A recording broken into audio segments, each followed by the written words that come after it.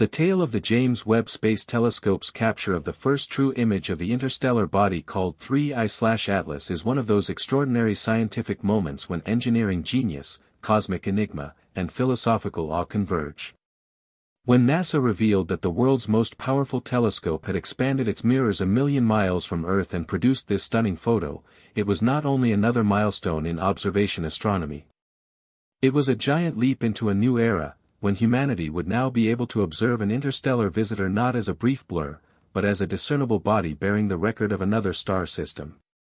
If this kind of story touches your heart, if you're someone who cares about truth, responsibility, and speaking up for the voiceless, please like this video, subscribe to our channel and share it with someone who should hear it.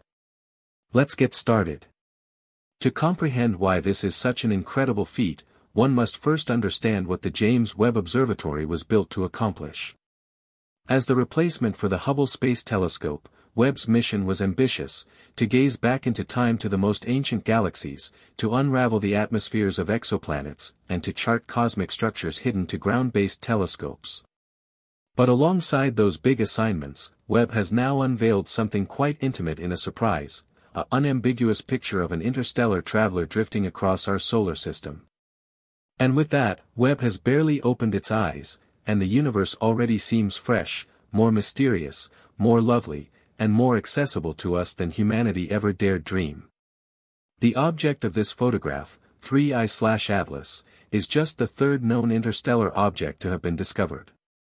Then came the long-simmering subject of much debate, the 1I-Oumuamua, a thin elongated object whose strange path and shape raised talk of its possibly even being man-made, followed by 2I-Borisov, a more traditional comet-like passerby.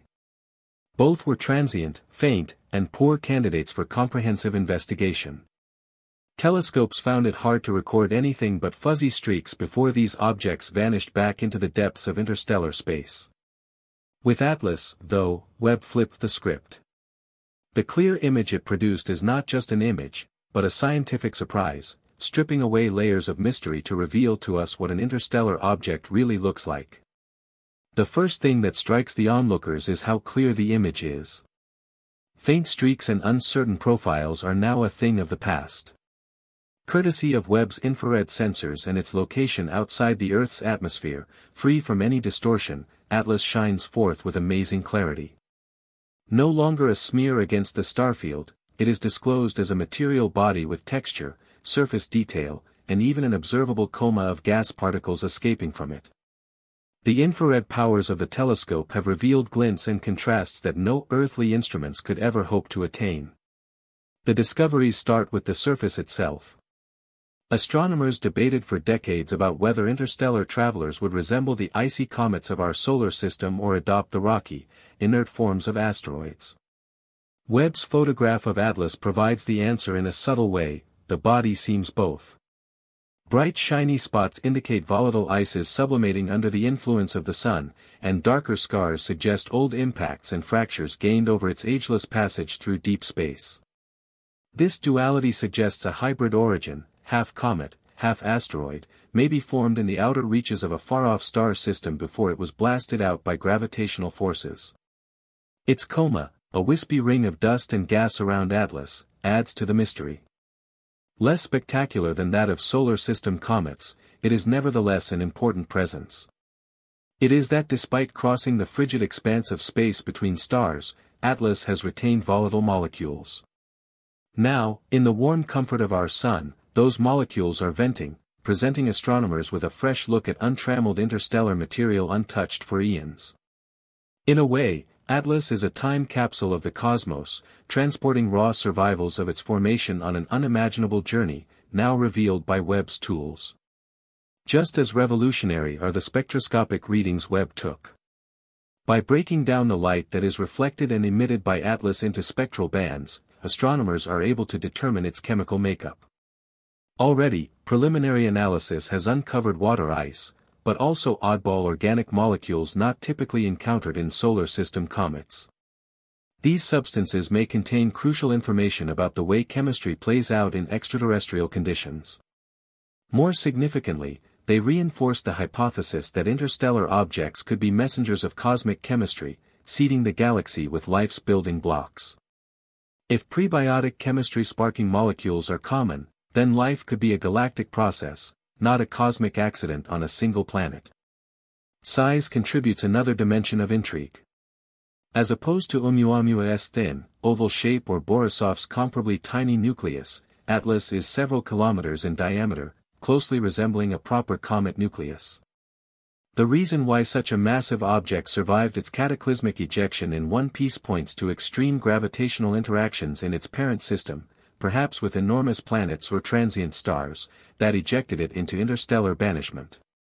Its survival past innumerable cosmic dangers bespeaks the tenacity of planet fragments and suggests that many more likely remain quietly drifting between stars, undetected. Webb's accurate monitoring of Atlas's path establishes beyond any doubt that it is interstellar. Its hyperbolic path demonstrates that it will only traverse our solar system once before moving off into space forever.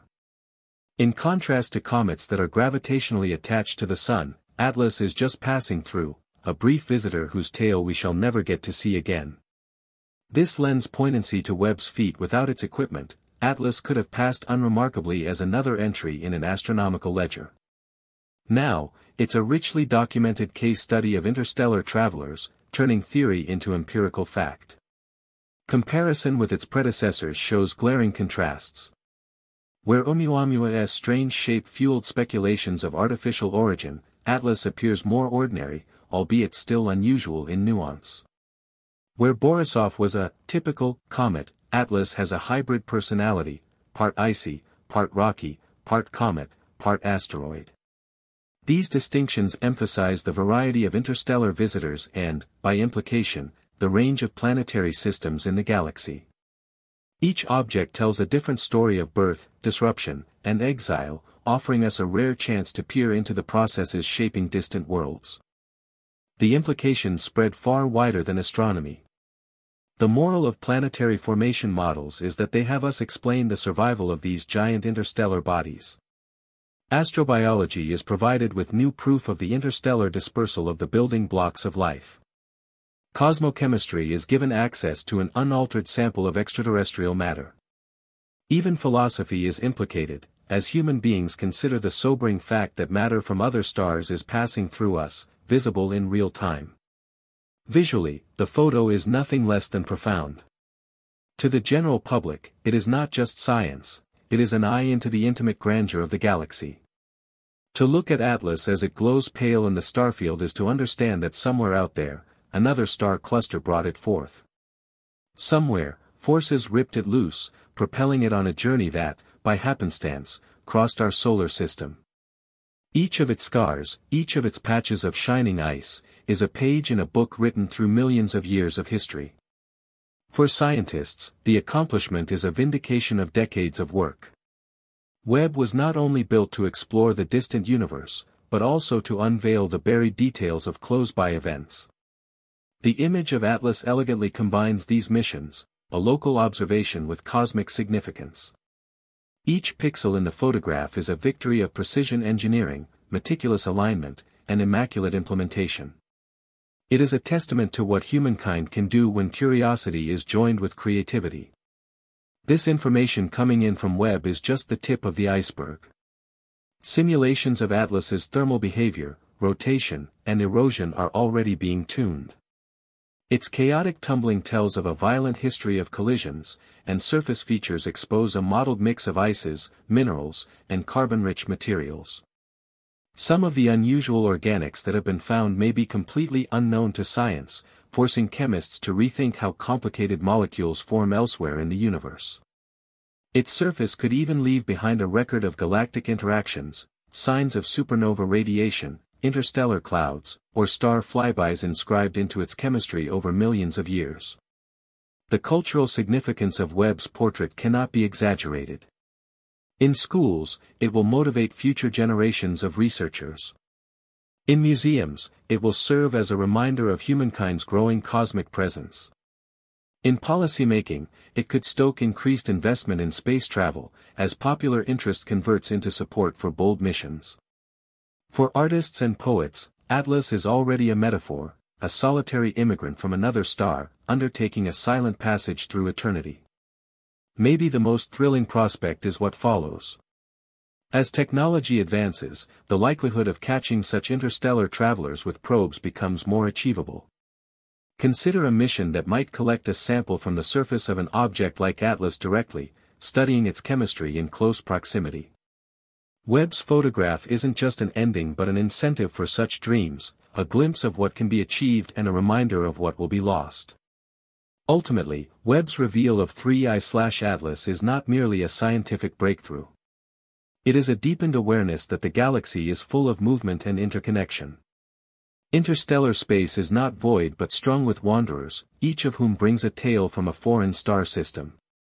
For the first time, we are able to behold one of them clearly, in vivid detail, not theory but fact. This is what makes Webb's achievement revolutionary. It closes the distance between the unknown and the material, the ephemeral and the eternal. It shows us that our solar system is not a solitary island but part of a cosmic web where matter floats and intermingles across stars. And as human beings gaze upon the face of Atlas, it is not merely an interstellar thing we behold, it is a bridge, a reminder, and an invitation. An invitation to continue gazing outward, to continue wondering, and to continue dreaming what other tales the universe yet contains, yet for us to reveal.